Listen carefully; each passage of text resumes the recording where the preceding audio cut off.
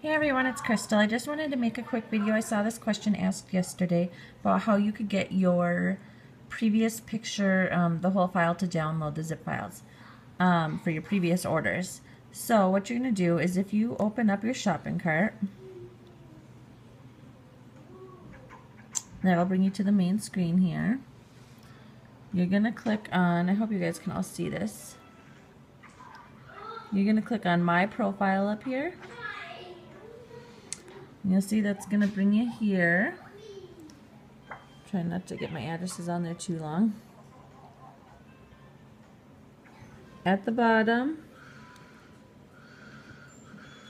you're going to see order history. So click on order history. That's going to bring up your last few orders and you'll also see the dollar amount and the time you placed the order. Now if you click on the order number.